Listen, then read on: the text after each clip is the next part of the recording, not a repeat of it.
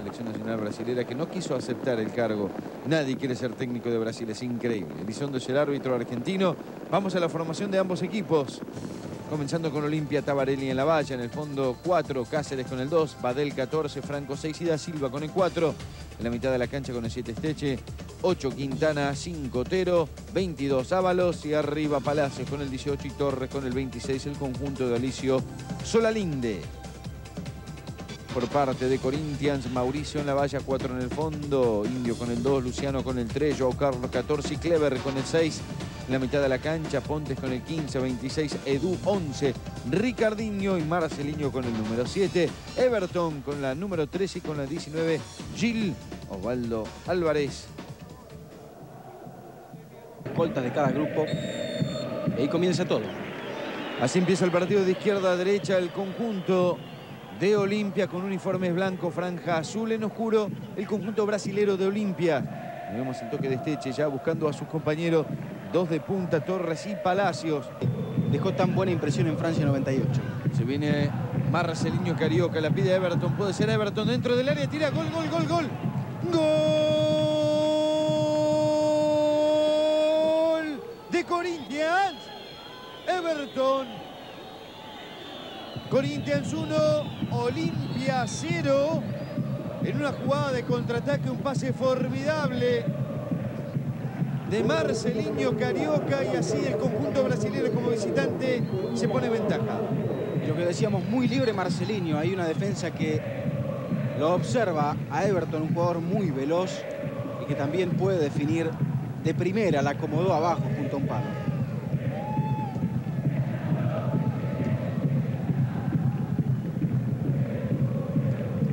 1 a 0 para Corinthians. Para Corinthians. Está muy parado Olimpia. Tiene razón la gente del tablón porque le pide que se mueva, que se mueva. No está jugando bien el conjunto de Solalinde. Cerrado el cabezazo, gol, gol, gol, gol. Gol.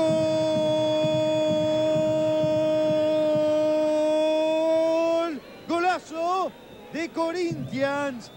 Joao Carlos de cabeza fusila Ricardo Tabarelli.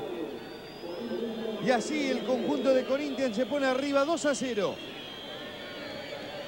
Lo dijimos, muy parado Olimpia. Y ahí todos ven pasar a Joao Carlos que busca el primer palo. Nadie que se aviva. Tabarelli también no tiene tiempo para reaccionar. Y es el segundo. Rápidamente este conjunto de Corinthians con un fútbol lindo, un fútbol de toque. Está ganando 2 a 0. Se vuelven a equivocar Ricardinho, más atrás Clever. La pedida de Edu, Marcelinho Carioca, Esteche.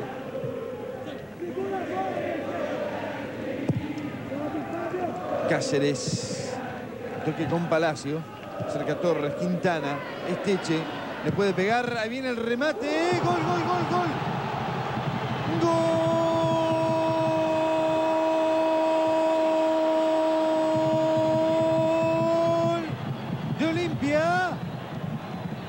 Carlos en contra. Corinthians 2. Olimpia 1. El descuento merecido para los paraguayos. Y aquí está la jugada. Un central que quiere despejar, pero lo único que hace es metérsela junto al palo a Mauricio, que reacciona, pero no puede llegar. El hombre que había marcado el 2 a 0, ahora marca el 2 a 1. Joao Carlos, sobre el final del primer tiempo, aprieta un poquito más este partido.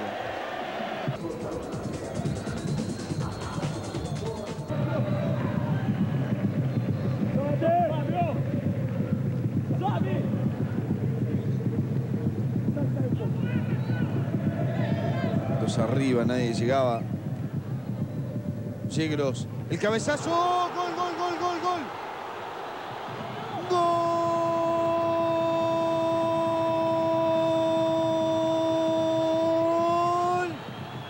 de Olimpia. Monzón. El partido está 2 a 2 ante la alegría, la euforia del público. Ya casi agónico al final, al minuto 40. Llegó el empate bien merecido para Olimpia de Paraguay.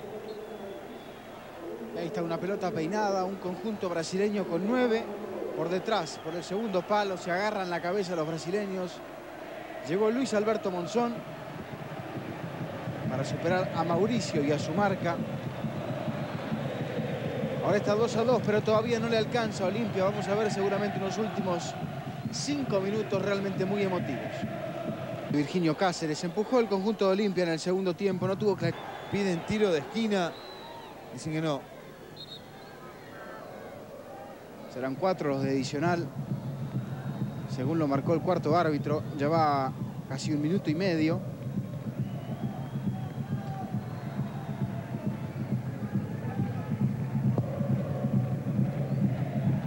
El público que no se mueve. Franco, veíamos a Otero.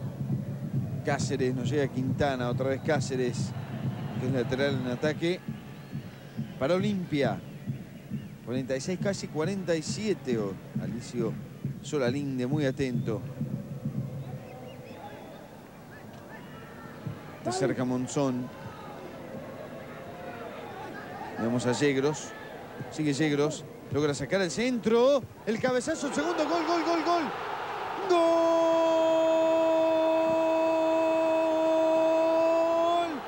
De Olimpia. Franco de cabeza. Olimpia 3. Corinthians 2.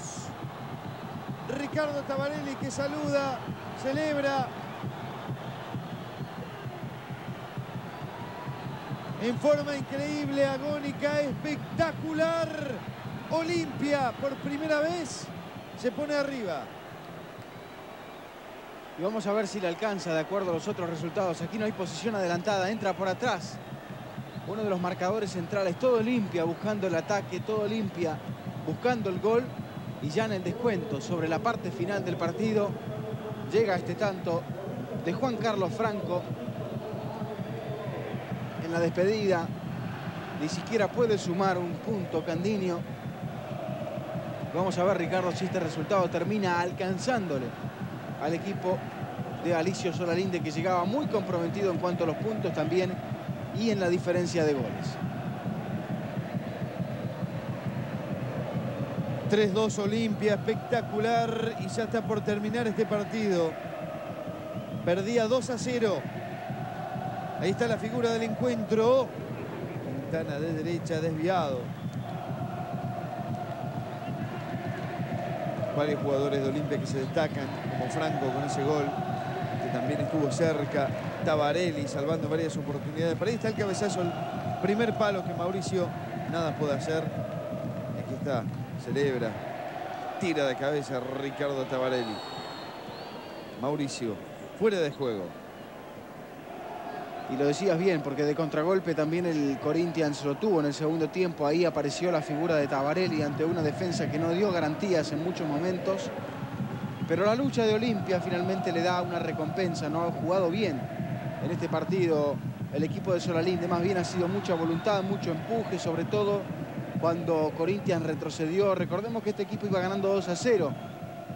Hablamos del conjunto paulista y después se metió atrás las expulsiones.